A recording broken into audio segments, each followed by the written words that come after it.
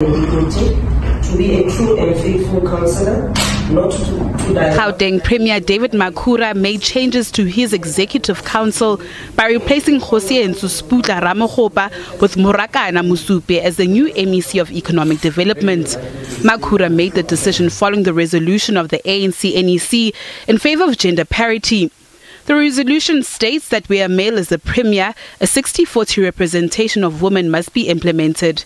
Uh, you'll appreciate the decision will have been made after the National Executive Committee of the ANC, which is the ruling party, will have then said there must be a 60-40 wherever there is a premier, which is male. And so uh, obviously initially we, the Gauteng government will have been in touch with the leadership of the ANC uh, to say there are issues that we wanted to deal with in Gauteng.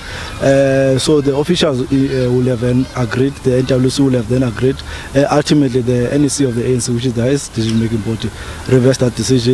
Mosupyoe comes with vast experience. Uh, MEC Morakane, she was uh, obviously coming from Tshwane. She has been the councillor there. She has been the MMC of social development. She has served in the cluster of uh, economy uh, in, in, the council. She, as you are correctly saying, she has been the speaker of um, the city of Tshwane.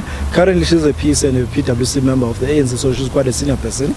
Uh, she's also the chair of the social uh, development portfolio committee in the legislature. The Premier's office would not announce where Ramokgopa would be deployed to. I don't want to enter in those uh, partner territories, uh, but it's safe to say uh, that his caliber of skills, you'll understand, he's a doctor who has dealt with the issues of the, you know, the economy and all that.